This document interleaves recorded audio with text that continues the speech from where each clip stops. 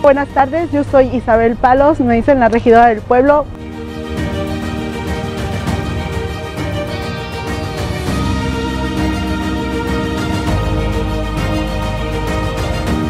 ¿Por qué me dicen la regidora del pueblo?